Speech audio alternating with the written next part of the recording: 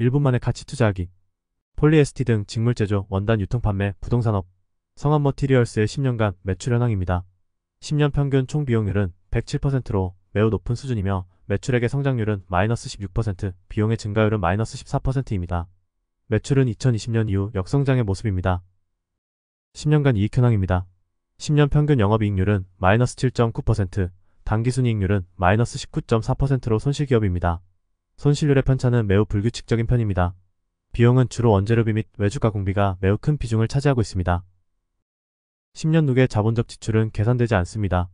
10년 누계 단기순 손실은 마이너스 1638억 원이며 같은 기간 유무형 자산에 대한 자본적 지출액은 549억 원입니다.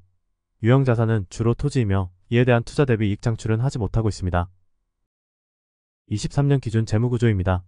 부채 비율은 375%로 매우 많은 수준이며 유동 비율은 53%로 적은 보유 수준입니다. 자산은 주로 유형 자산이며 부채는 차입금입니다. 차입 규모는 현금 대비 3배 이상이며 재무 구조는 좋지 않습니다.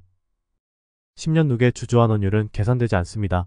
10년 누계 단기순 손실을 기록하는 중이며 지난 10년간 배당 1회 총 5억 원 실시하였습니다. 이상 성한 머티리얼스였습니다.